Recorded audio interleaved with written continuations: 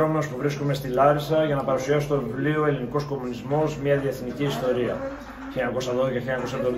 1912-1974.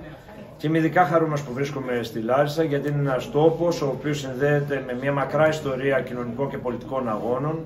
που είχαν στο επίκεντρό τους τη διεκδίκηση των αόρατων ανθρώπων της κοινωνίας να πρωταγωνιστήσουν και να καθορίσουν την τύχη αυτής της χώρας. Το βιβλίο μου εξετάζει την ιστορία του ελληνικού κομμουνισμού επιμένοντας στην ανθρώπινη κίνηση, τη μετανάστευση, την προσφυγικότητα, τον ξεριζωμό και το πώς αυτοί που, και αυτές που βρέθηκαν στο περιθώριο της ζωής πρωταγωνίστησαν και διαμόρφωσαν τη χώρα και συνολικά τον κόσμο στον οποίο βρισκόμαστε.